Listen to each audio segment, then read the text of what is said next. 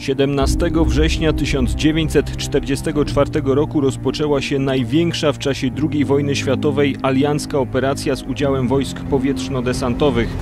Na terytorium okupowanej Holandii w celu zajęcia przepraw na Renie zrzucono ponad 40 tysięcy spadochroniarzy brytyjskich, amerykańskich i polskich.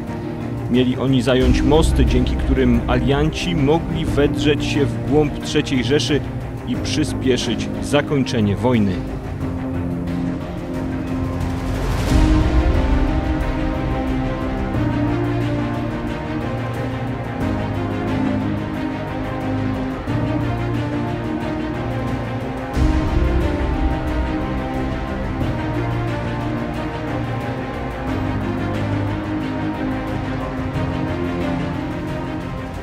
Od trzech dni trwają amerykańskie ataki na most w Nimehen bez powodzenia.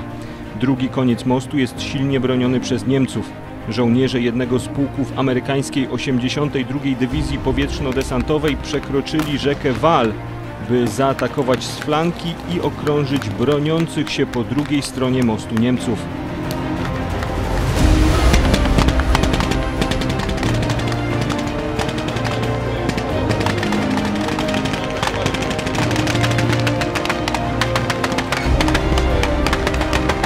Szybki atak na pozycje niemieckie daje chwilowe sukcesy. Później obrona niemiecka konsoliduje się i impet ataku amerykańskiego nieco słabnie. Niemcy kontratakują.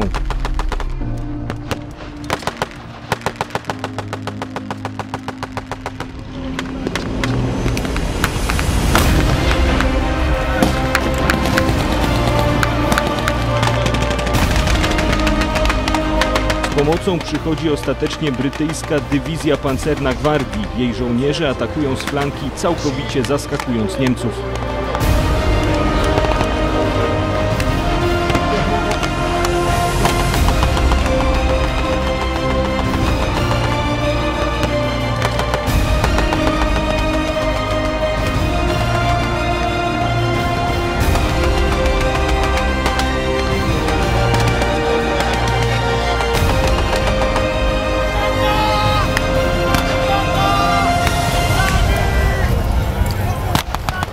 Przeprawa na rzece Wal zostaje zdobyta. Niemcy nie zdołali wysadzić mostu.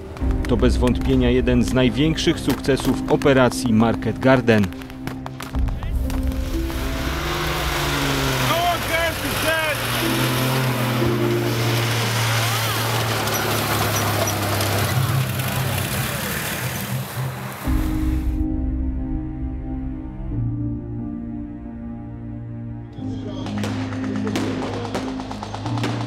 W Arnhem, najdalej wysuniętym polu działań operacji Market Garden, ciężki bój o most i przyczółek w mieście toczą żołnierze jednego z batalionów brytyjskiej pierwszej dywizji powietrzno-desantowej.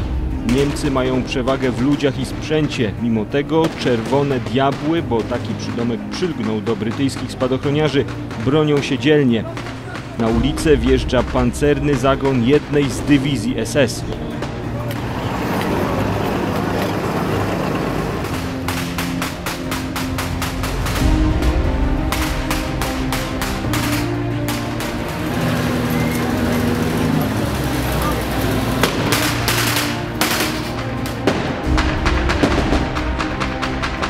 Niemiecki walec rozpoczyna torować sobie drogę przez miasto. Brytyjczycy odgryzają się celnym ogniem, muszą się jednak wycofywać.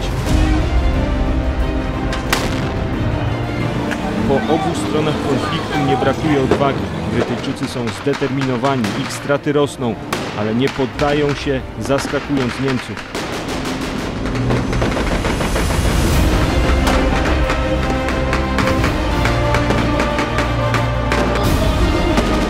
Wysiłek jest jednak na nic. Niemcy dysponują zbyt dużą siłą. Dzień później Brytyjczycy otrzymają ostatecznie rozkaz wycofania się z miasta.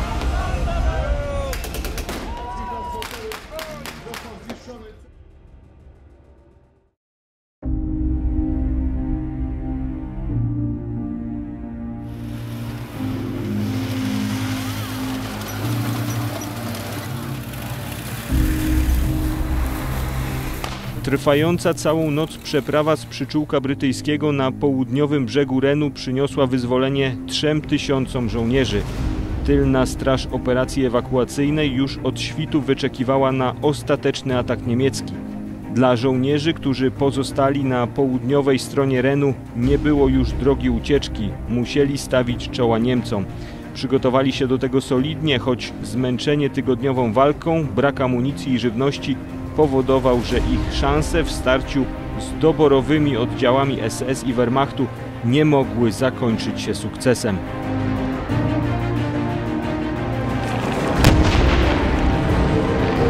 Niemcy rozpoczynają natarcie. Nawała ogniowa ma wystraszyć obrońców Pszczółka.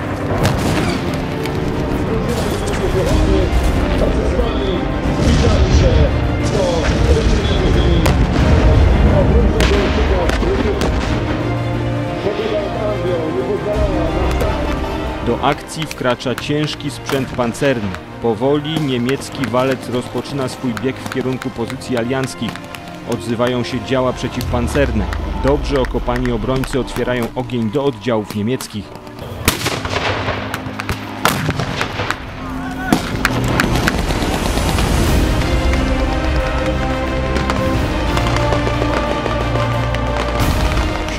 Obrońców widać też Polaków, żołnierzy pierwszej samodzielnej brygady spadochronowej generała Stanisława Sosabowskiego. To ich dzielna postawa w obronie przyczółka ewakuacyjnego doprowadziła do sukcesu nocnego odwrotu Brytyjczyków. Kilka kroków i strzał, ukrycie się i znów kule lecą na niemiecki atak. Niestety wróg ma przewagę w każdej dziedzinie. Niemiecki walec wtacza się powoli, ale skutecznie w pozycję obrońców. To ostatnie chwile operacji Market Garden. Operacji, która zakończyła się klęską sprzymierzonych, a którą Niemcy uznali za swoje zwycięstwo. Był to jednak ich ostatni sukces w tej wojnie.